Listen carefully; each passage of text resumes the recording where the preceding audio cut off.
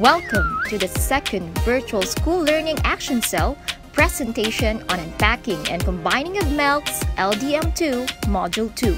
I am your moderator slash Slack documenter, Jeneline Espejo.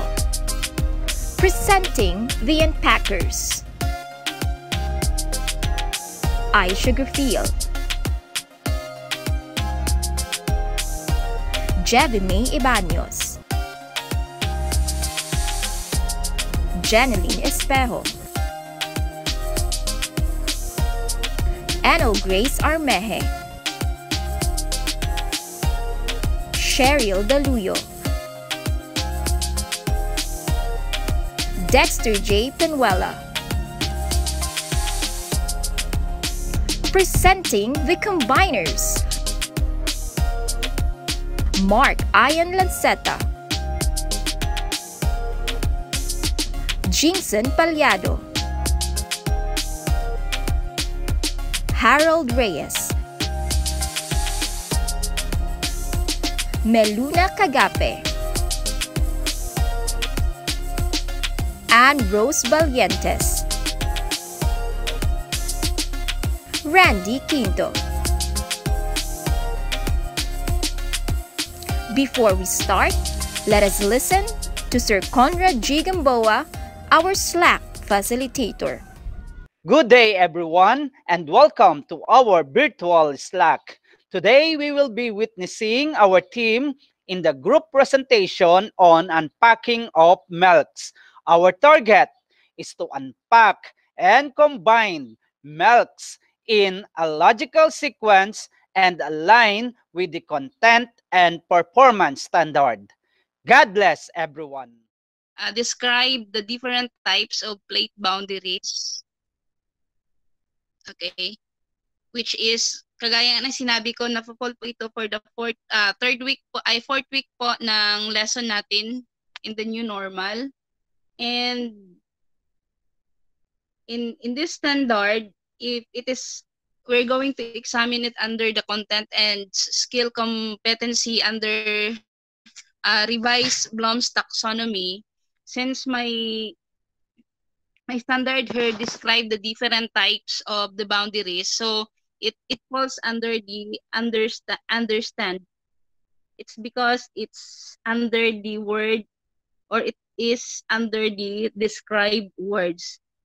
So ito po yung aking uh, standard that kailangan ko po siyang i-unpack So in unpacking difficult uh, in unpacking the standards po, I have five. Number one for the objectives is uh, identify the types of plate boundaries. Second, uh, describe the movement of plate boundaries. Then third is classify uh, plate boundaries according to the direction of its movement. Then draw the directions of plate movements using arrow. And the last one is create a model of plate boundary using clay soil. So if we're going to try it into Weave's depth of knowledge, it only falls to the GOK number one, which is only recall and reproduction. Then, under the last uh, row, which we have here, the objective of the lesson is describe the different types of plate boundaries and the learning task or the task of the student is to identify the types, describe the movements, and classify plate boundaries according to its direction, draw the directions of plate movements using arrow, and create a model of plate boundary using clay soil. Now for the strategies and techniques which refers to the task of the teacher. So number one here, we need to show a map of plate boundaries. Uh, different, uh, different from the world map. So we are only referring here to the plate boundaries map. And then we have, uh, we need also to show the different movements of plates. So we're going to use here a model. If we could have a drawing or a demonstration.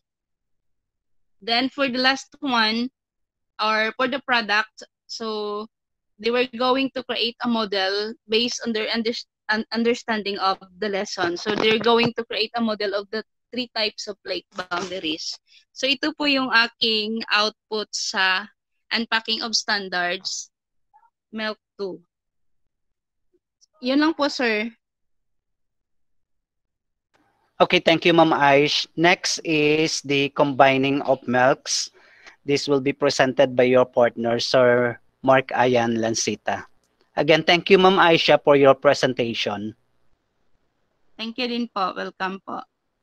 This day, I will be presenting to you a lesson guide for Science 9 Quarter 1. So basically, the Quarter 1 in Grade 9 Science basically focusing on biology. And it comprises for eight, for seven week session. So the week one, the content is focusing on the respiratory and circulatory system, working with other organ systems, with one milk, which is S9LT1AB26. And this week one is it's extended for week two. And another week two is another lesson presented to week two, which is the effects of lifestyle on the functioning of respiratory and circulatory systems. And the merits of it is infer how one lifestyle can affect the functioning of respiratory and circulatory system. The same with week three and four, it has one learning competency, but has two contents. Week five only ha has only one one lesson or one content with one melts and competency. And week six has one content, one learning competency or melts, but this week six and week seven have the same content as well as the learning competency or the most essential learning competency. For this time, I will be presenting to you the combining most essential learning competency for first quarter, week one in grade nine science. Honestly, I am very open for constructive criticism because I still know that I don't master it. I tried my best, but I hope it would turn out okay. so on this grade level, the week one, most of the subjects has only one most essential learning competency except for math, I think. Yeah, parang math. And then, this is my suggested performance task. The goal is to make an infographic about the relationship of circulatory and respiratory systems and transporting nutrients, gases, and other molecules. Of course, the role of a child or a student is a graphic artist. The audience addresses a wider general audiences. This is now the situation. The students are tasked to explain to, to other students the respiratory and circulatory system and their functions using an infographic. This may be done through a photon or an app brochure, and PowerPoint.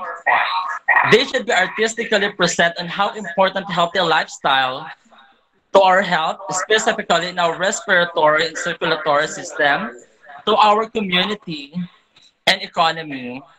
And I am certain that with the present situation of our country this time, learners would able to, to relate the importance of the um, entire organ system to our economy, specifically that we are now facing a pandemic, which is COVID-19. So the product, the expected product of our students are infographic. The standard are agreed by a class rubric. And these are the rubric. By this time, sir, I use only holistic rubric, which comprises creativity, five points, Content, 5 points. Timeliness, 5 points. I hope you've learned from this presentation. I am also willing for some suggestions and constructive criticism after this presentation. Thank you so much. Thank you so much, Sir Mark. You deserve a virtual clap. Next presenter natin is the group 2. This time, we will listen to the presentation of the output of the Filipino Teachers Group. Uh, Sir Jingson Palyado and Ma'am Chebby May Ebanos. Okay, good morning everyone. Ito po yung output namin in the unpacking the standard. So yung standard po namin, doon po sa first quarter ng grade 7. Kaya ito po, nasusuri ang pagkamakatotohanan ng mga pangyayari batay sa sariling karanasan. According to content skills complete your survey Bloom's taxonomy, na fall po siya doon sa analyze. Okay, at yung mga objectives po namin, meron kaming apat na objectives. Una, na iisa-isa ang mga makatotohanang mapangyayari mula sa binsang dulak. Number two, nasa at nawaan ang ilang dulak. Number three, nasusuri ang mapatandaan sa pagkilalang ng, ng makatotohanan at di to pangyayari sa binasa. Number four, nakikilala ang hindi at makatotohanang pangyayari na maiuugnay sa sarili kasan. At according po doon web depth of knowledge, doon po sa DOK, doon po siya na belong sa strategic thinking. Kaya at yung mga uh, strategies sa techniques po na gagawin ng guro, una, talakay, ang two, pagbahagi ng mga sariling opinion or kuro-kuro. Number three, pag-unawa sa dulang basa. At ang huli, pagkilala sa dulang binasa. Yun lang po, sir. Uh, sa muli, magandang umaga po sa ating lahat. Thank you po, Sir Conrad. Uh, I would like to congratulate the presenters, Ma'am Aisha and Sir Mark. Thank you so much, sir, sa inyo, sir, nga sharing, sa inyong uh, unpacking and combining. Um, dito po sa unpacking ni Ma'am Aisha, sobrang ano sir, uh, klaro po ang lahat ng mga objectives na kanyang ginawa same po kay Sir Mark at at at nafi-feel ko rin po na kayang-kaya po ng bata na gawin po yung mga yung mga objectives po na kanilang ginawa. So, congratulations po Ma'am Aisha and, and Sir Mark. Ayun lang po sir yung aking ano sir, yung yung aking pong uh, let's say talk, charot lang about Thank- sa presentation po ni Ma'am Aisha at ni Sir Mark. Thank you so much for your positive uh, sharing of insights on the presentation of Sir Mark and Ma'am Aisha Grapil.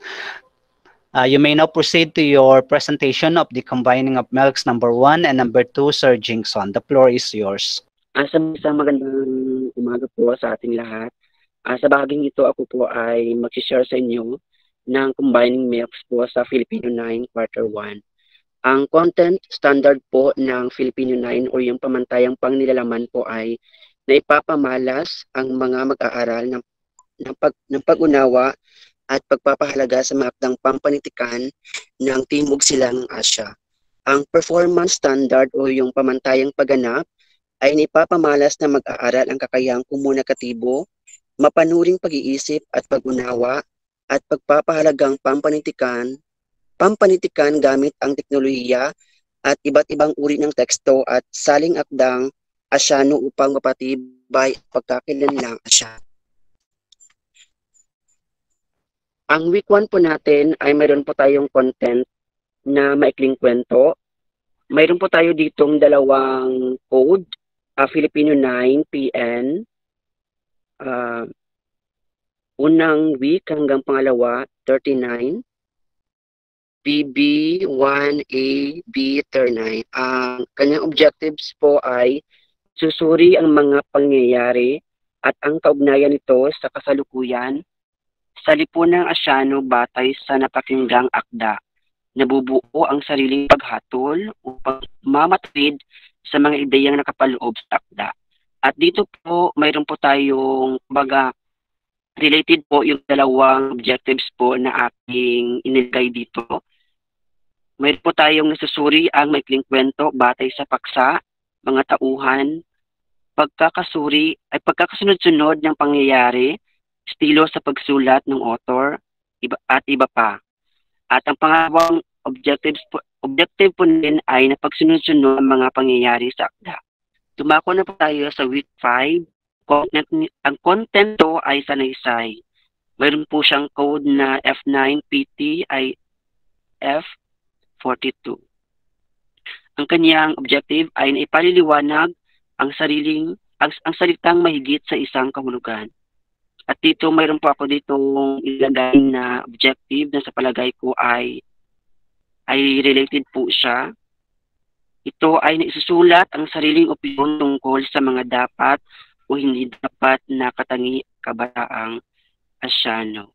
Week 7, mayroon tayong content na dula at ang kanyang objective ay na- nakabubuo ng paghusga sa karakterisasyon ng mga tauhan sa kasiningan ng akda at naipaliliwanag ang kahulugan ng salita habang nababago ang istruktura nito.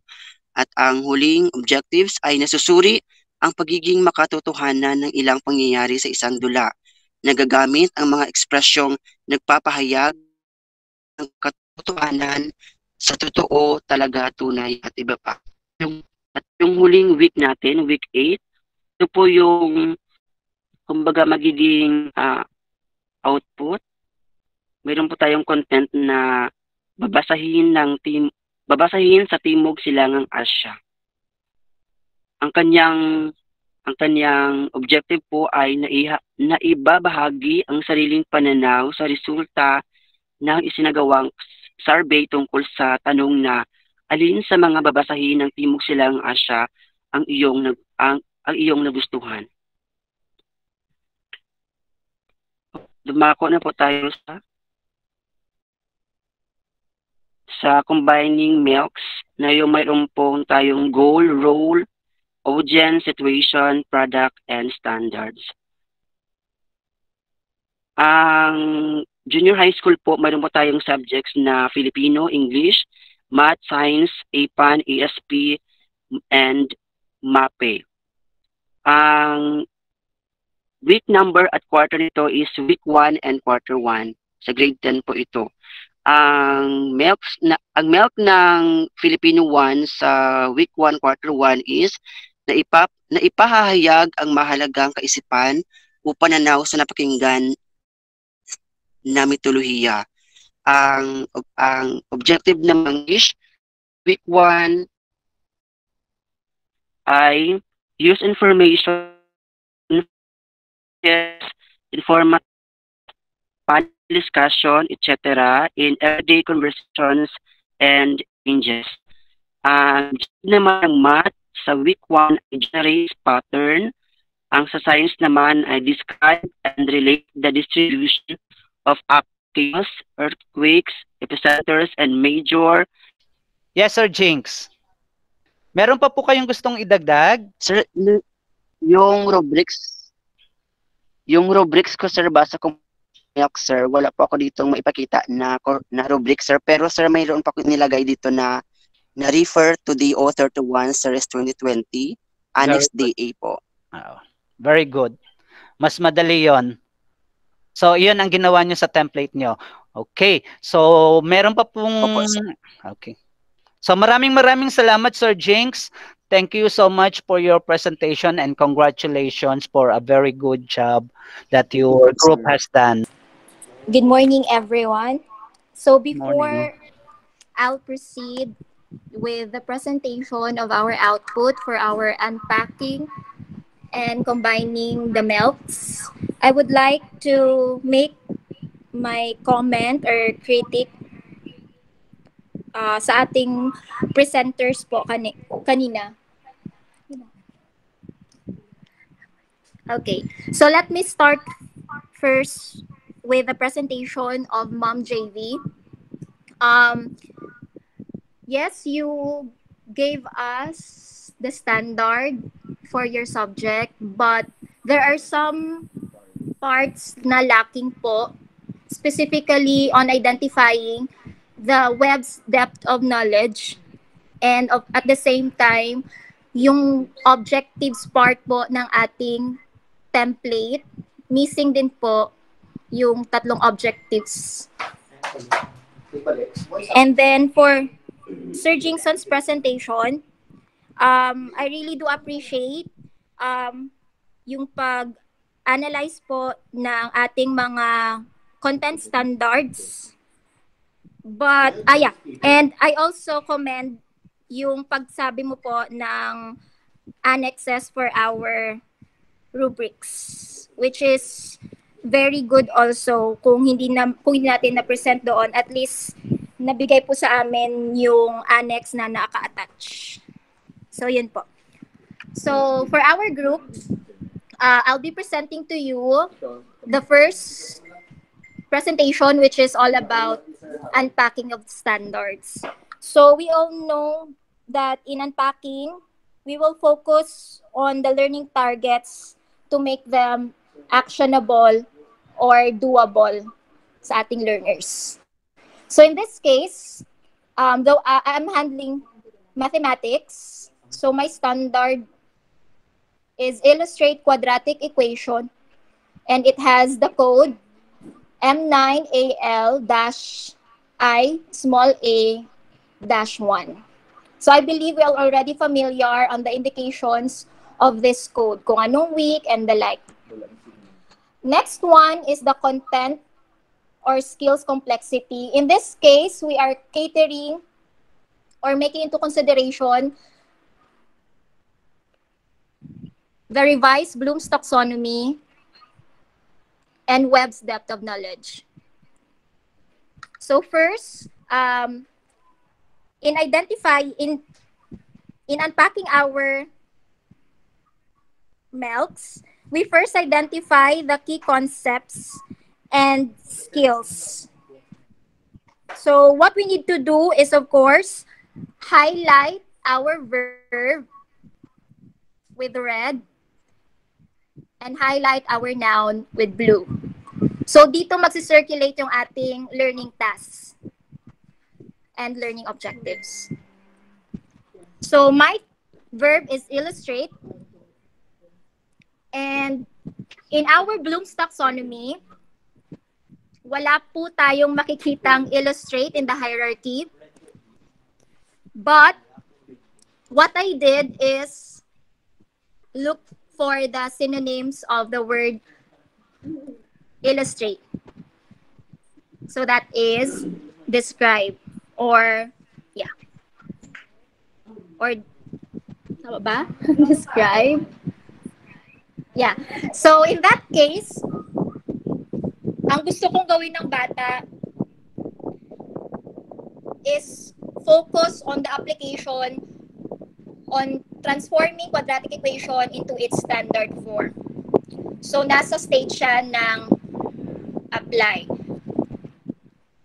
So in an unpacking of standards, uh, we will take into consideration the remembering stage, the understanding stage, before we proceed to the application.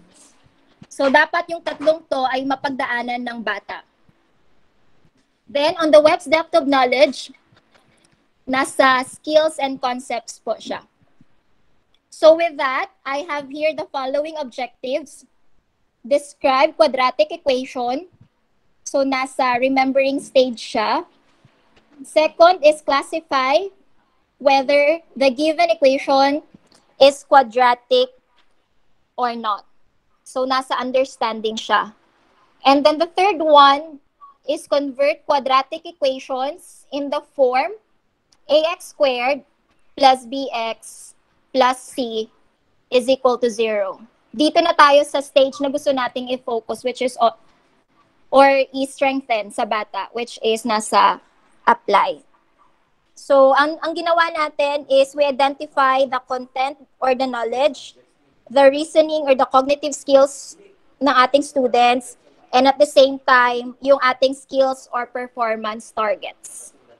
So, with this, sa ating template, kinapi ko lang yung objective natin from the standard, the learning task from the objectives, and we have the following strategies to attain our learning tasks. Ito yung tutulong sa atin for our teaching and learning process. So we have here showing of film or the video clip, specifically siguro PPT or Powtoon po. Discussions, so Socratic method. Magkakaroon tayo ng questioning and answering. And the next one is the individual tasks. And of course, the group tasks. So that's all for the unpacking of standards. Thank you, Ma'am Jen. Next is Sir Harold Reyes. Good morning, everyone. So God bless us all. Uh, The task that I am going to present to you this morning is about the combining the milks. Okay, I have just here in my presentation, I just took the core subjects of our grade 11 students for first semester. So I have here the core subjects physical science, gen math, media info literacy, physical education, and personal development. So I have gotten here based on the thematic, the thematic, uh, con, the thematic na required ni sir sa kanyang YouTube channel. I have here and um, made the verb red and blue yung mga noun. So I have here for physical science, we have give evidence for and describe, that would be the verb, and the noun would be formation of behavior elements. For Gen Math, we have represents, and then the word or the noun would be function. For media and information literacy, we have described the verb, and then we have the communication as our noun. For physical education, you have self-assess, then we have here the noun health related fitness. For personal development, we have the word share, and then the noun would be unique characteristics, habits, and experiences. So I have made my own my performance task in grasps form. So we have here the goal. I just focus with my subject and I just interrelate this one. I I don't know if it's right, but uh, so far as I have understood, this in this also um, related to other subjects because this is real more on real life situation. For our for my goal, I wanted my students to create an innovative mini astrodome showing the formation of elements during formi- uh, star formation and evolution. The role of my students are the to be a lecturer, so they, they will give lecture to their audience. Their audience would be students the situation that I will have given to my students is that I will be giving them as I will make them, uh, I will assign it with a group, and then the task to show significant events in the formation of elements during star formation and evolution. The product that I'm expecting is the mini Astrodome with different video clips. So standards, their work will be graded according to the performance-based A-grade rubrics. But then I have here specify itong rubrics natin. Contents, 5 points. Accuracy, 10 points. Creativity, 5 points. A total of 20 points. So that is for our um, combining milks po. And for our combining the topics, wait lang po, sir.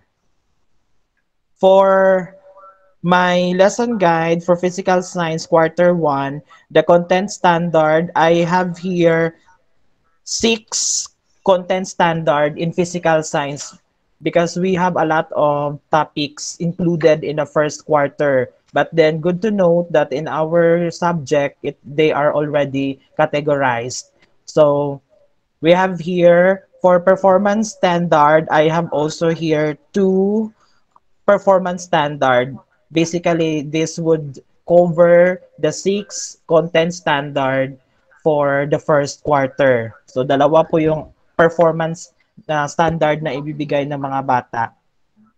So as I go through with our our MELCs most essential learning competencies for this this quarter one in science, it is very good that in in our in our subject po sir meron na po siyang nakategorize na siya per week so in our week one meron po akong three topics kaya uh, two topics I mean kaya nilagay ko diyan 1.1 in the code, then 1.2 kasi it means to say in week 1 we will have two topics. So in week 1 we have Big Bang theory and deformation of elements and we have here the evidence for described formation of heavier elements during star formation evolution and explain how the concepts of atomic number led to the synthesis of the new elements in the laboratory.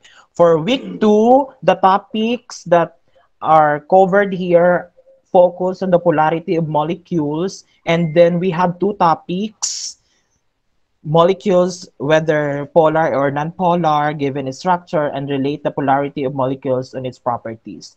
For week three, still, this is in the polarity molecules. However, the competency here differs because students will describe the general types of intermolecular forces and that is not the same with week two, which is that they are just only going to determine the molecule, whether polar or non-polar. And for the 3.2, we have they were going to explain the effects of intermolecular forces. And for week four, you have their the relationship on function and structures of macromolecules. Then we have a lot of macromolecules.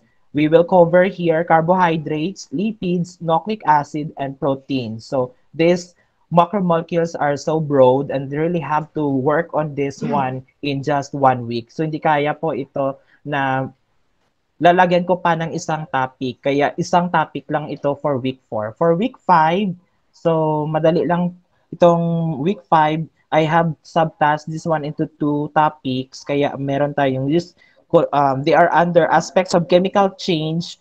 They are going to determine the rate and amount of uh, amount needed for a change.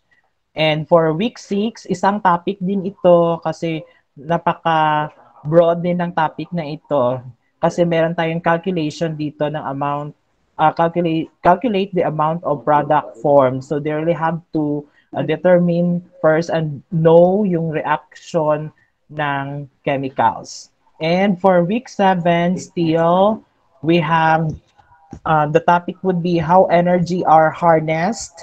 So isang week po ito kasi marami pong klaseng energy but our focus will only focus with fossil fuels, biogas, geothermal, hydrothermal, batteries, solar cells, and biomass.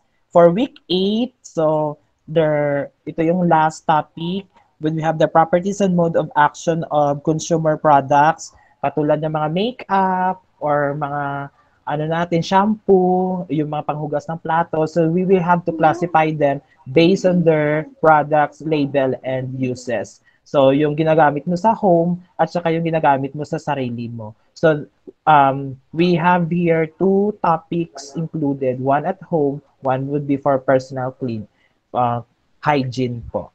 So, yun lang po ang aking maipresent for our combining the milks.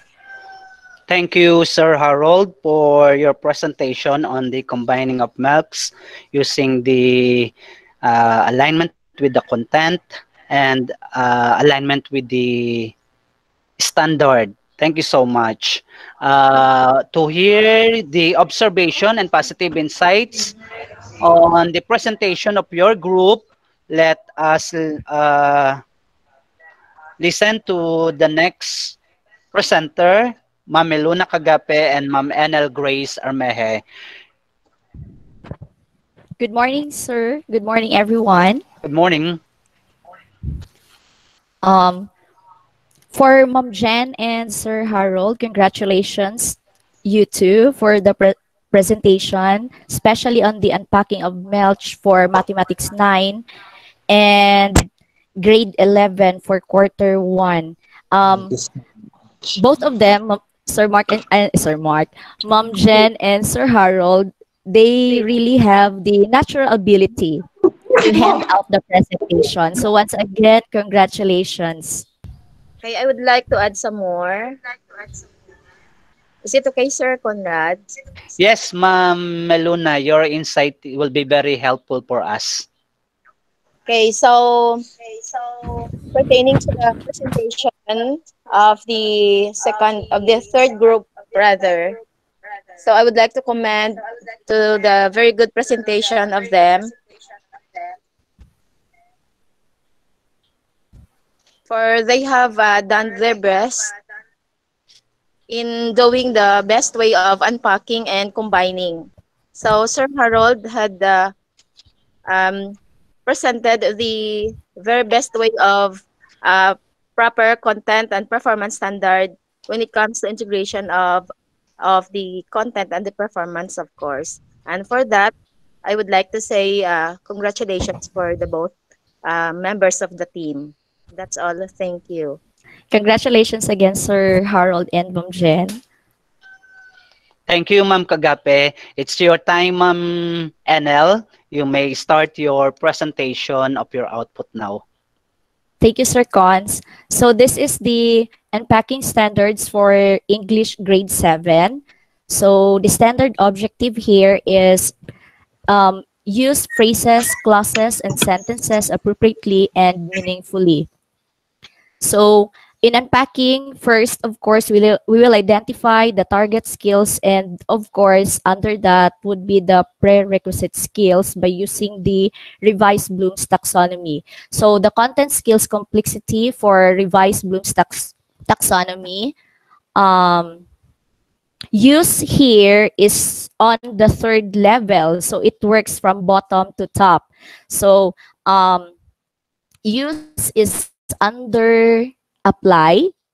So the prerequisite um, objective that I make is um, under understand and remember. So in here, the first objective, first objective here under understand in the revised Bloom's taxonomy, um, define phrase, clause, and sentence. And then for um, the second one would be classify phrase, clause, and sentence from one another. Third, remember, so the specific objective here is use sentences using clause and phrases. For the web's depth of knowledge, it is under um, DOK 3, which is strategic thinking. So the objective, use phrase, clauses, and sentences appropriately and meaningfully. So the learning task are the following. First, define phrase, clause, and sentence. Second, classify phrase, clause, and sentence from one another. And lastly, use sentences using clause and phrases. So um, the techniques and strategies that we will be using in teaching this um, subject for English grade 7. First, um, we could have the pretest on phrases, clauses, and sentences. Um, second, we can have class discussion. Um, another one, interactive phrase and clause sort. And lastly, um, they will be making a paragraph. That's it. Thank you. So my greetings to everyone. My apology for this uh, sort of ano, of disturbance out of the internet connection, which is uh, very low. So my topic, uh, my assigned task is to present to you the combining of milks. So, as presented, so I have here the most essential learning competencies for English 9 for quarter 1, week 3. So, I would like to take note and for for you to uh, understand, no, for us, everyone here, that uh, there are just only three uh, most essential learning competencies provided for Great English 9 quarter 1. And those, and those three competencies or three MELCs uh, were intended only for eight weeks. So, and those were the express permission, obliga obligation, and prohibition using modals, use conditionals in expressing arguments, employ the appropriate communicative styles for various situations. Uh, it would be intimate, casual, conversational, consultative, and frozen. So out of those three uh, provided for English 9 quarter 1 and intended to be uh, taught for uh, within 8 weeks. So I just uh, chose the third milk, assuming that this is intended for the third week. And that is Third milk. appropriate communicative styles for various situations. And so, what I did, I combined the competencies from the English, yung 2016 English CG that are covered by the chosen MELC. And those objectives or competencies are provide words or expressions appropriate for a given situation. And the other one is use normal and inverted word order in creative writing. So this uh, for compliance, and I know I am doing my best in combining. So I had in my mind that I do not know how to combine those three, just only three milks provided for English 9 for quarter 1. So I just made I just made use of the competencies in the 2016 uh, curriculum guide. And those have also an integration which I made here for the combined milks that I had uh, done. So use the appropriate communicative styles for various situations with proper word order in a creative writing. So as seen, the contents here are more on the content standard are more on communicative styles and a word order in a creative writing. So the performance here, uh, basing on the performance, it is used the normal word order and to um, provide words or expressions or communicative styles. Now, so the combined milks, go back here sa combined, combined milks. So I had come up into this, use the appropriate communicative styles for various situations with proper word order in a creative writing. So there has already a thematic integration of the content and the performance standard in these combined milks. But I had only taken taken these competencies from the 2016 uh, curriculum curriculum guide. So I did not uh, get the milks or the, I did not get uh, the competencies from the provided milks. But I chose one that would uh, be that would cover the competencies from the CG. And then so I um I had here the grasps based on the given uh, combined milks based on the given um, competency or most essential competency which are competencies which are combined already. So grasp is the most uh, basic uh, basis of what we call this is it is also considered as a rubric these grasps so i also had uh, used this one when i was uh, when i taught no um, the performances and other uh, learning uh, styles in english so the grasp here is out of the given or out of the combined competencies, two competencies, and we have here this one. So I, uh, so we, I have here the grasps for the performance task of the learners. So the goal here is the learners will use the featured characteristics of the appropriate communicative style in the given situation by writing a short conversations or a skit in a proper word order order. So that would be the goal the target performance of the learners. And the role here is the learners will be the skit writer. So their role are their role are skit writers or are skit writers and they will create short conversations or a skit out of the given situation.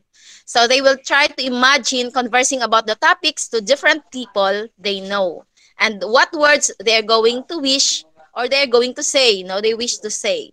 So they will also observe the appropriate word order in writing their skit and their answers will be written on a separate sheet of paper.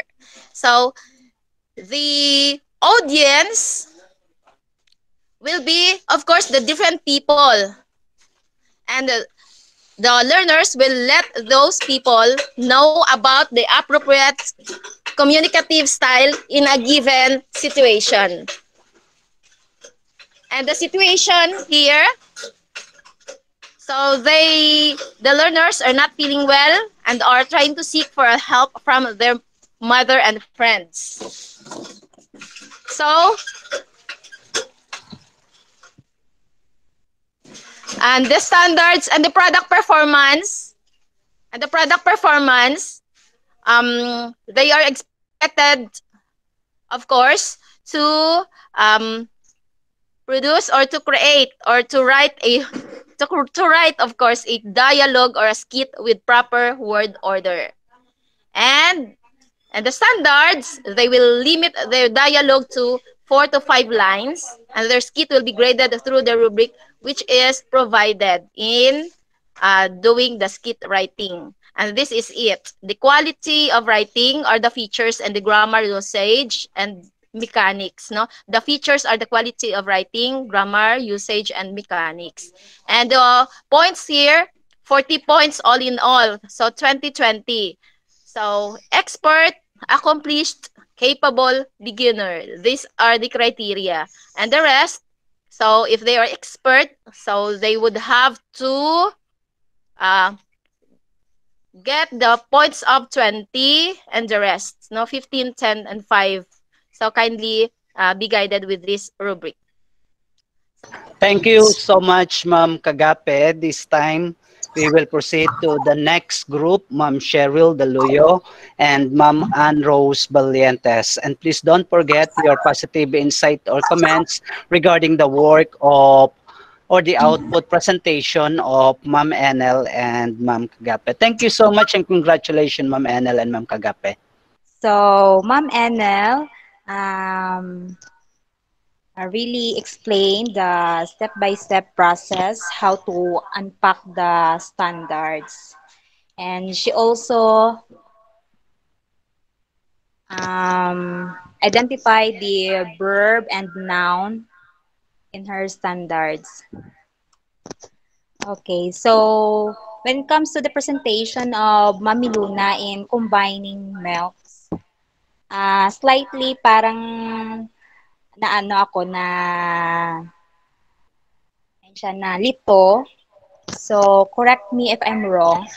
So, it should be integrated to other subject. Uh, once again, good morning. Good morning, Sir Cons. Good morning. And to my fellow lab teachers, especially to my buddy-buddy partner, Ma'am Cheryl Daluyo.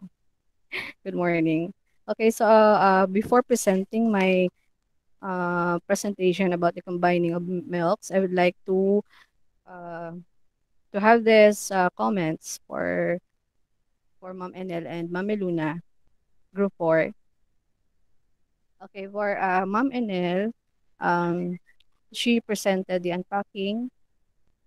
Okay, so the objectives and the learning tasks and uh, the strategies or the techniques are visible and clear and of course the concepts the knowledge and uh, skills are being identified. Okay. then next is for Ma'am Meluna. Okay uh, the suggested graphs is very good. Okay, very good. Explanation is very good. But um, there is yeah yes there is a lacking. May kulang po yung uh, lesson guide. It, it is not being presented lesson guide in combining milks. And yun sabi ni Ma'am Cheryl kanina, yung they're not, different subjects are not uh, visible or they are not integrated. But overall, very good, very good explanation. I would like to uh, congratulate Ma'am Enel and Ma'am Meluna for their very good presentation. Cheryl, kayo po ang papasok? Yes, sir. Sure, okay na po. Nagbalik na po. Ay, okay na. Ikaw muna, Ma'am She. visible. ano ba? Nagauna. visible, hindi. Mag-ask lang akong visible yung uh, ano, for presentation. Sir Cons, ano dyan na ba? Ako na lang po mag-present muna. I, uh, kayo pong dalawa ni Ma'am On. Kasi na nakikita na po yung output niyo, Ma'am Cheryl. So, mas maganda na kayo na lang po mag-present. Kung okay lang po kay Ma'am Ann. Ma'am Ann, okay, pasensya okay na po. lang, sir. Okay Ah, po, sige. sir. No problem. Maraming salamat, Body, Ma'am. Ann. Body, body, opo. Okay. Body, body, syempre. Okay, Okay. good morning again. Good So, morning. this is my unpacking standard. So, the standard of my, ah, ang kinunan ko po nito is grade 7 TLE. So, standard is layout garden plots. So, as you can see in my presentation, the color red word is the layout, that is the verb, and garden plot is the noun. Okay, so in doing this unpacking standard, I considered the uh, revised Bloom's taxonomy by Benjamin Bloom's and Web Depth of Knowledge. Okay, so layout garden, um, nabilong ito siya sa apply na level. So, um, before I proceed to the uh, applied level, so that is the layout, uh, I considered first the bottom level, the remember, understand, before I proceed to the apply. So objective number one, define garden plots. Second, explain the steps of preparing garden plots. And third is lay out garden plots. So, under the revised Bloom's taxon taxonomy layout, na belong siya sa level na apply. And the web depth of knowledge, or they be okay to, it is under the skills or concept. Okay, so objective, the main object, objective is layout garden plots. So, learning task. So, define garden plots.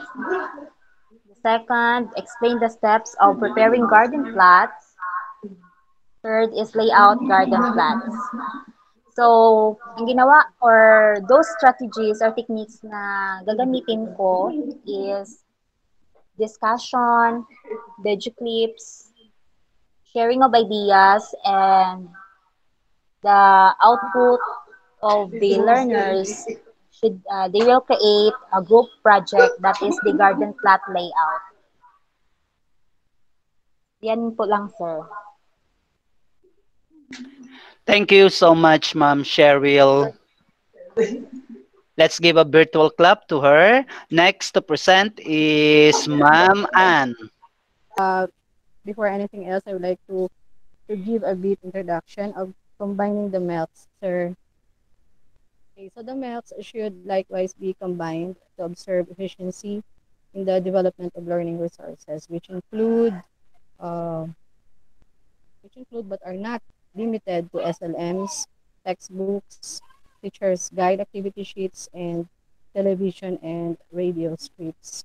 Okay, so I am now presenting, as you have seen in the entire screen, my lesson guide. And I'm not I'm, I'm not confident. Hindi pa ako confident na i-share ito. Hindi ko alam kung either tama or may something wrong. So this lesson guide, uh, of course, you can uh, lesson guide in AgriCrop quarter one. So in this uh, lesson guide, you can see the content of each milks. Okay, the content of each milks and uh, budgeted milks by content or topic for for 8 weeks. Nakikita po ba? Wait. Okay. So, uh, the content standard, uh, the, the learner demonstrates an understanding of concepts, principles, underlying theories, and actual application in crop production and nursery work. And the performance standard, the learner independently demonstrates common competencies in crop production and nursery work. Okay, so the learning area is uh, types and selection of materials, tools, and equipment that is uh, with the code PLEAFA9ACLA um, dash E dash one. That is for one week, uh, week one and and week two po. And then we have um,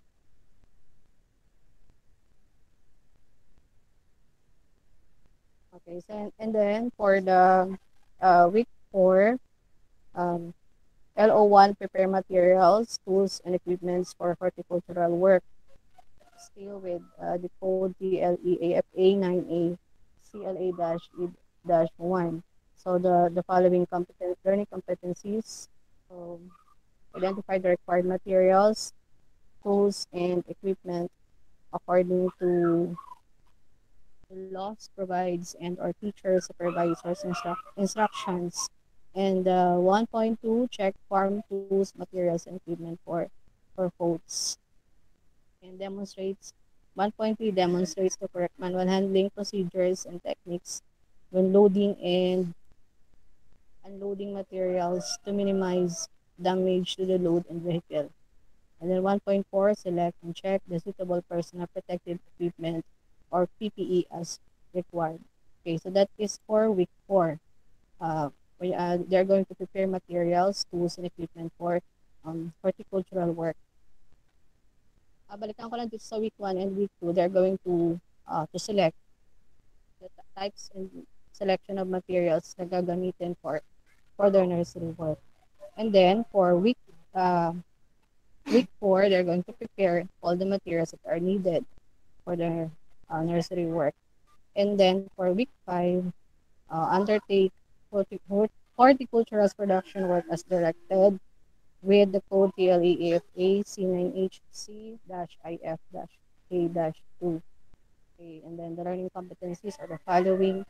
Follow and clarify instructions and directions based on authority requirements and workplace procedures. And then 2.2, undertake work in a safe and environmentally sound manner. And then that is, so undertaking the horticulture production work as directed, um, the time allotted is week, uh, that is week 5 to week 6. And then for the last week 7 and week 8, okay, still undertake horticultural production work as directed. Okay, and then the following learning competencies, interact with other staff and customers in a positive and professional manner as specified the employee manual. And then for 2.4, observe workplace practices, handling, and disposal of materials following. And then 2.5, report problems or difficulties in com- completing work required standards or timelines to authority based on company reporting procedures. Yan lang po sa aking lesson guide. And then I have a Okay, makikita mo ba yung combining melts? Hello, yes, ma'am. My fellow lab teachers. Okay.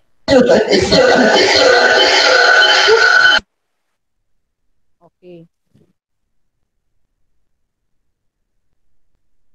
Hello. Oh. Okay, so this is my, um, ito yung nagawa ko na combining melts.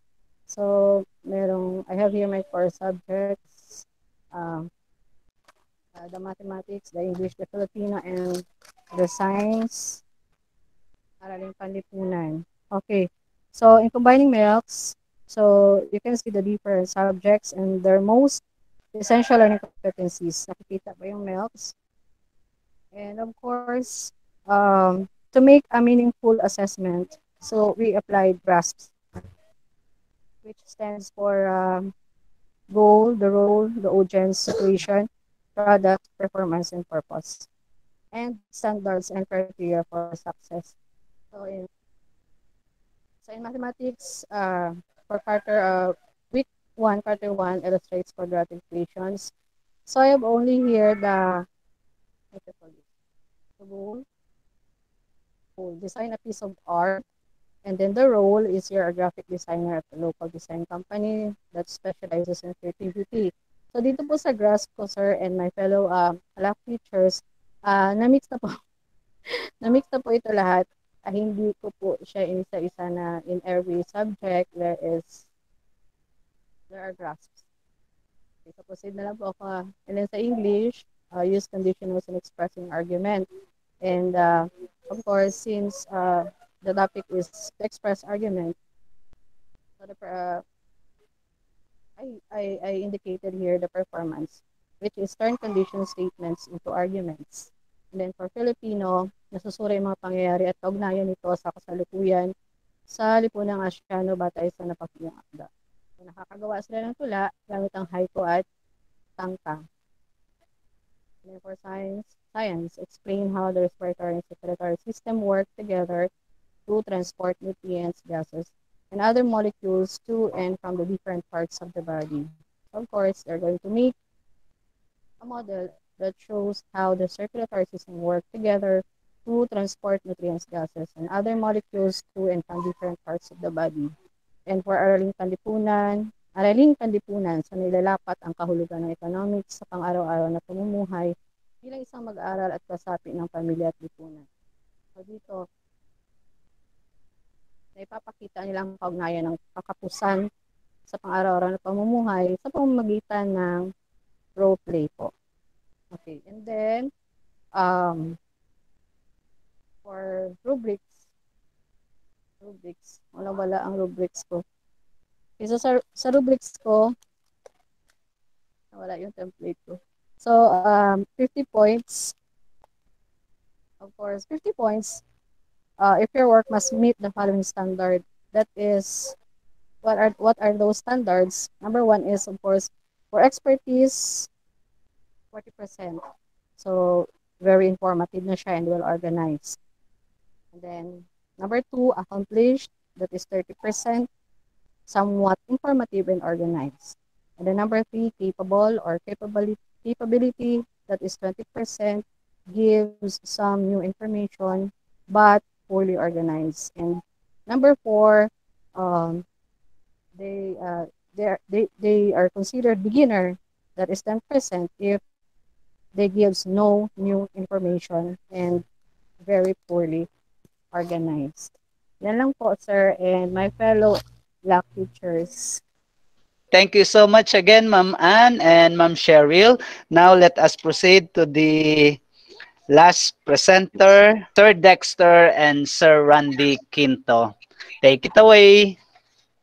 Okay, ginaulat ko lang si Magche. Okay. Sino naka-share? Hindi pa ma-share. Sir Dex, sino una, Sir Dex? Ako na, sir. Ako na. Sige, while aga kay Okay. So habang hindi pa po na share ang screen. So before ko po ma before po ako mag-present ng aking output, I would like to congratulate Ma'am Cheryl and Ma'am Ann for a job well done. So ang napansin ko lang kay sa presentation ni Ma'am Cheryl is inobserve niya yung paggamit ng Bloom's taxonomy at saka yung kay ah, yung depth of knowledge. Kasi nga ina- in-identify niya yung verb na andon sa kanyang standard and then in-apply niya doon sa kanyang objectives. Uh, kay Ma'am A naman, napansin ko ma'am, uh, okay naman yung presentation. Napansin ko doon sa ano mo ma'am sa part ng combining sa graph. Um, nailagay doon yung mga ang tawag doon? Parang yung component niya pero hindi siya na-identify kung ito ba ay goal o parang nawala ma'am na-erase yata. Oh, so parang hindi hindi ko siya ma-identify kung saan doon na part. Siguro iniisip ko na lang na ah yung pinakauna yun yung ano niya yung goal niya. So, yun lang po ang napansin ko doon sa screen. Okay, yun lang po. All in all, um, magaling. Magaling po. Okay, congratulations. Sir, ano lang. Ah, sir, pwedeng si Sir Andy na lang po muna. Oo. Kadlaw-kadlaw ka sa Randy. uh, sige, sige, sige, sige. Try ko, sir, ah. Okay, so Randy, it's your turn. Ayan, okay na po. Sir Randy, okay na po. Okay po, sir. Ah, nakita na po rin po ang presentation po, sir. Yes, Sir Randy. Presentation, sir. Okay, sir. Uh, good afternoon to everyone. Good Uh, afternoon. these are the collaboration or these are my observation sa paggawa ng combining milks through the content standard and the other one is through the uh, performance standard and content standard also. Uh, before I will proceed uh, to the presentation, uh, magbigay muna ako ng konting ano kay sa share nila Ma'am Ma'am uh, Ma'am Ann, I think, and Ma'am Cheryl. Actually, uh, about kay Ma'am Cheryl, uh, my feedback about Ma'am Cheryl, it is uh, being observed po talaga yung kanilang Bloom's taxonomy and the okay. So overall, about uh, kay Ma'am Cheryl is a two thumbs up. And uh, about kay Ma'am uh, ano, kay Ma'am kay Ma'am Ann Valientes po, uh, it is okay. But uh, parang ano, naguguluhan lang ako sa tema, ma'am. I'm sorry to say, ma'am, but uh, it is a good presentations, ma'am. Okay, so, I proceed, sir? Hello? Yes, sir, you may proceed you with your presentation po. Okay po. Uh, can I proceed, sir? So, this is the first, uh, na first, uh, ano ba ito, uh, combining So is content standard and performance is standard. If you can see the content standard, it is being numbered from 1, 2, 3, 4 until 4 and the same also with the performance standard. Uh, because uh, as I can see doon po sa ano, doon po sa MELCs, uh, this is a subject which is a introduction to philosophy of the human person. Nakita ko po kasi in the first quarter or in the first semester that is just only 8 weeks. So, parang nagtataka ako, first quarter, uh, first semester is 8 weeks only. So, kung titignan po natin, uh, the first quarter is 8 weeks, right, sir? Tama po ba ako, sir? So, what I did is, kinuha ko lahat ng first quarter, then I distributed that one 8 weeks. And then, I consulted also the references.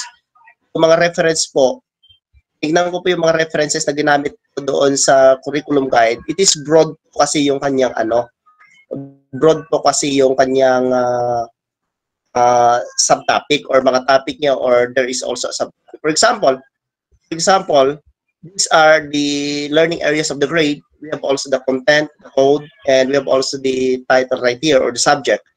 So in week one, uh, nakita po natin sa content, it is a process of philosophy of doing, a process of doing philosophy.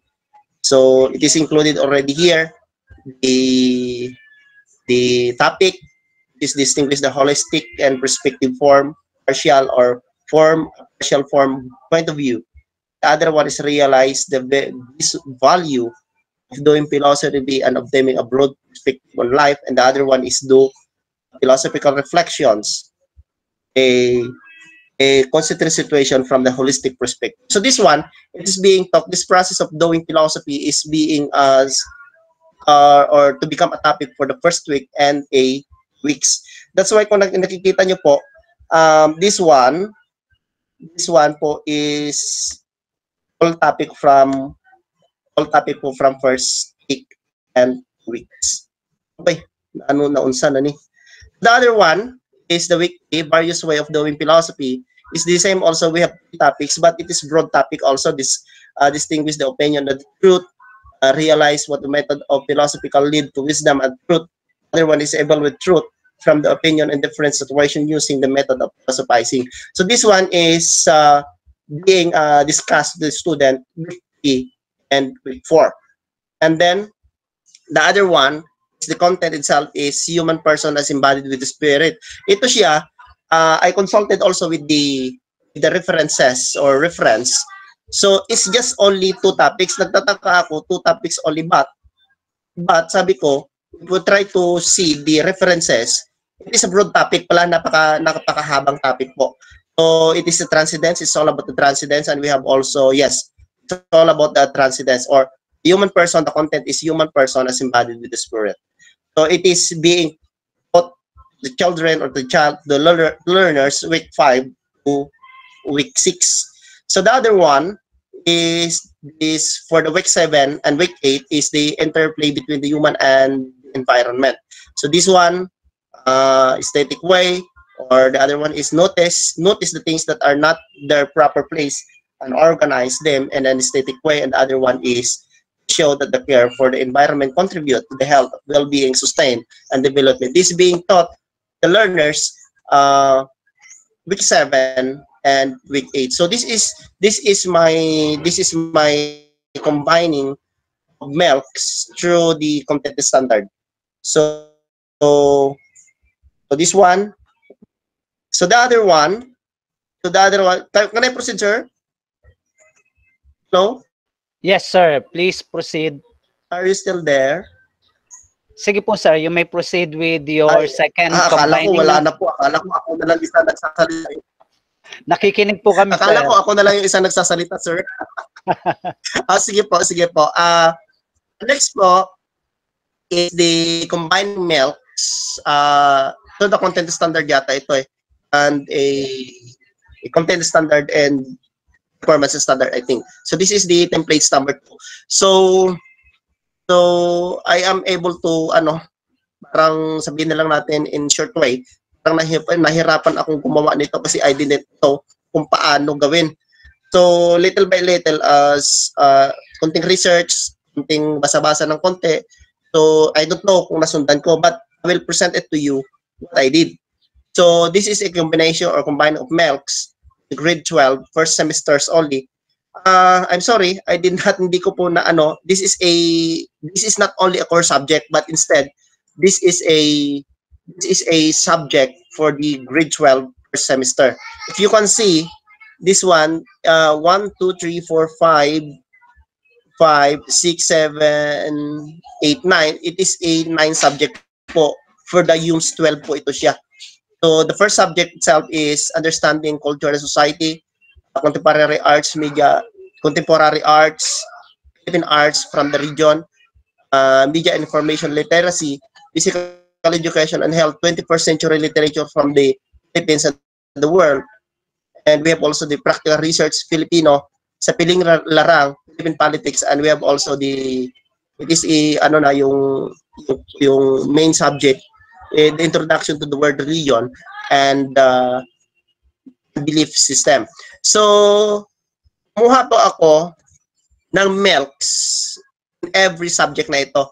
So so these are the, the these are the are the milks. So discuss the nature of the goal. So the noun itself is anthropology, sociology, and political science.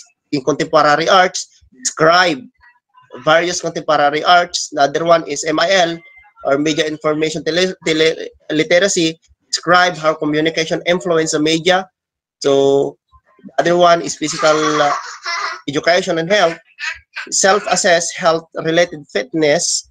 Uh, the other one is 21st century is writing a close analysis of critical interpretation of liter litera literacy texts and doing the adaptation of this required uh, learner to ability to identify the following geographic, linguistic, and so on and so on po.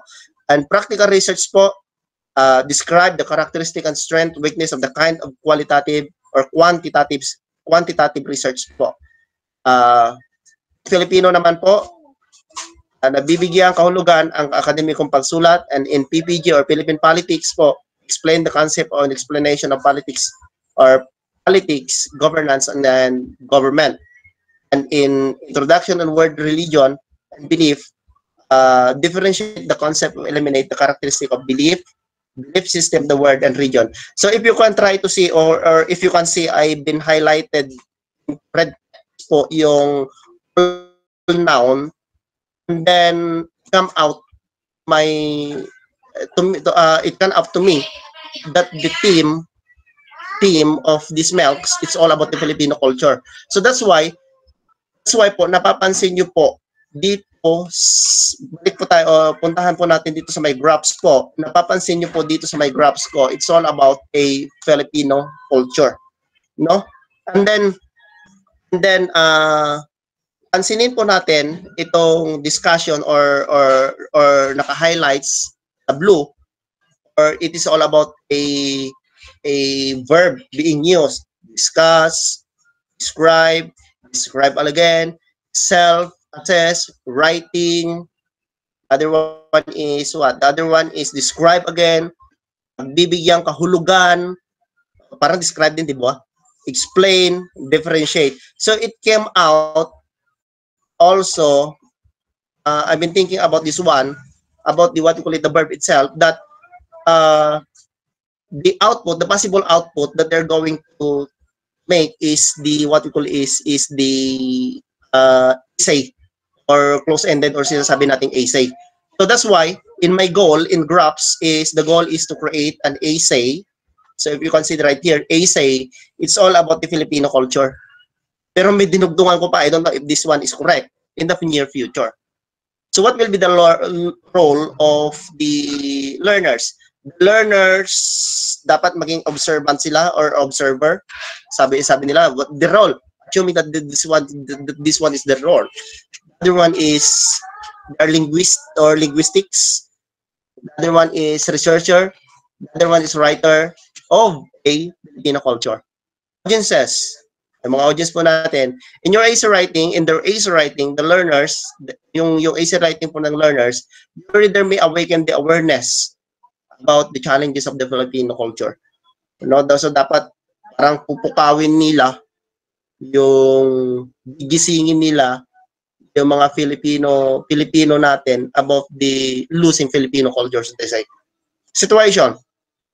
Ano ba situation ngayon? Bakit ko pinapagawa ni sila ng ganito? So nowadays, the Filipino culture changes over time when it has been impact our daily life. Yes, it is true that is being uh, changed over time. Those culture changes could be also is also our life. Other cultural group, so other cultural group advocate for the pres preservation of our culture. The learner, as a cultural group advocate, he, he or she will awaken the readers of the observation of the culture. He or she will write an essay which will awaken the reader's mind about the changes of our culture and the reader may aware that existing culture can preserve. Also, uh, parang nag, nagkaroon po ng clerical error po yata. Existing culture can preserve all, also our morality, yes, uh, morality of a Filipino. So product, so what will become their product? Yes, they may compose an essay po, which is awakening the readers through the cultural changes. So we have also the standard right here, uh, 40 points. So standard or the rubrics itself, the rubrics, I put the rubrics right here Oops, wala po siyang uh, rubrics. So, rubric. So, the rubric right here, it is, uh, there are oh, dalawa po ang ano niya, ang maging kategory niya. So, the quality of writing and we have also the grammar use and mechanics. For the expert, we have 40 points. So, dapat ma-check itong 1, 2, 3. The other one is the accomplish, accomplished uh, 30 points. So, three indicators din po. And we have also the capable is 20 points, three indicators also. We have also the beginners that is all also three indicators. And uh, this rubrics is uh, I adapted this one from this one www.totco.com AC rubrics 2081367. So these are my presentation. These are these are my presentation in combining melts, uh, the first templates and the uh, second templates. Sir? Sir? Thank you so much, Sir, Sir. Randy. Ah, maraming maraming uh, salamat po. Salamat din po. Why pa friend, ma-present ako. Call mo lang. Ara na ba? You go, go po. Sir Dex. Okay, Sir Dex. Oh, okay, sir. Ara na. Ara na, ara na. Okay, so Once again, good afternoon. So, punta tayo sa unpacking the standards. So, sa standard ko, uh, ang nakalagay dito ay nakapagsasagawa ng Hello, sir. Ara na, sir. Opo, nakikita na po kayo. Pero yung presentation niya po nawala. Oo, nadula ang ano, sir. Nadula ang internet. So, sa cellphone na lang ako nag ano. Okay. Okay, so proceed. Patuloy tayo, sir. Okay. So, tiningnan ko yung verb at saka kinumpare namin kung saan siya nabilong doon sa Bloom's taxonomy at saka doon sa DOK. At nakita doon na doon siya sa pinakamataas which is create.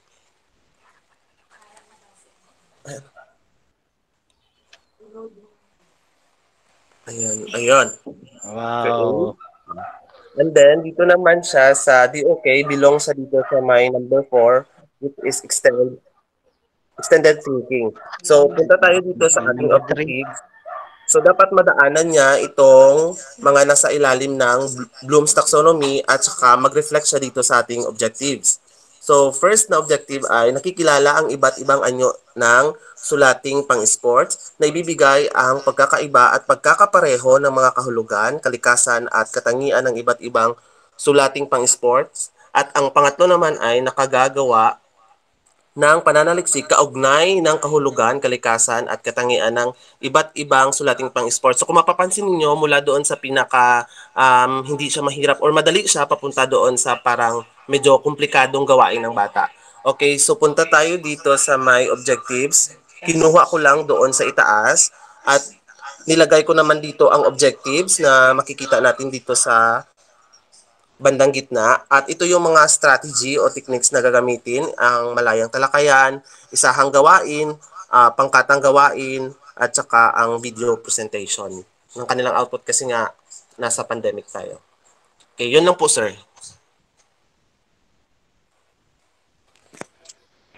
Thank you so much for that.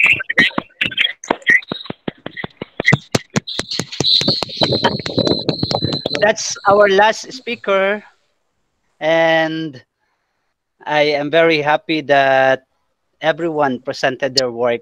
However, before we end this, I think we need to listen to the comments, insights, feedback coming from group one to the presentation, output presentation of Sir Dexter and Sir Randy.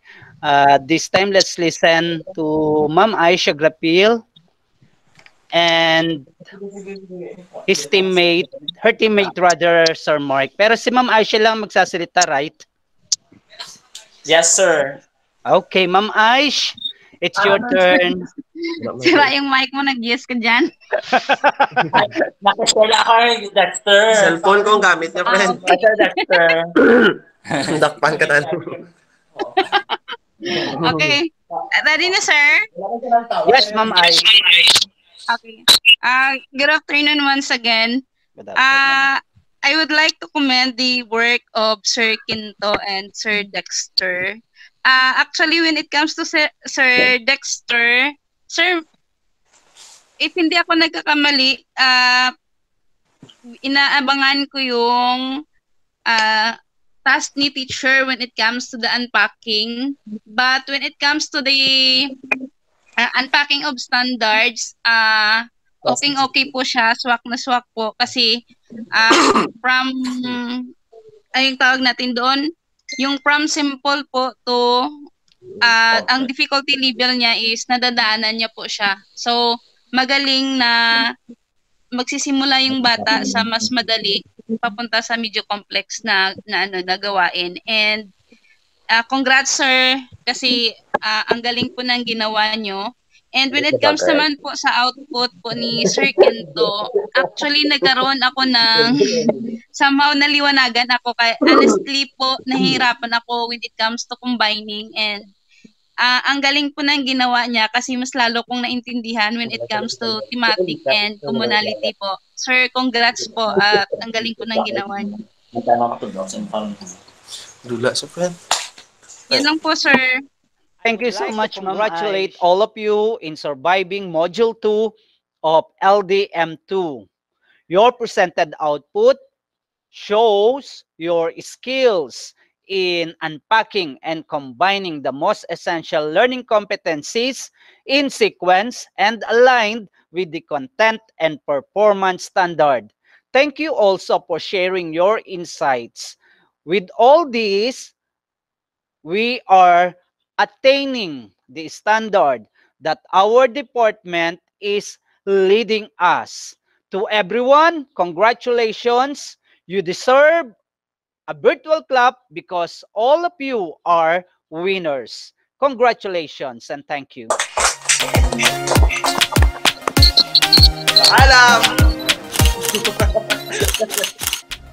That ends our second virtual Slack. Thank you.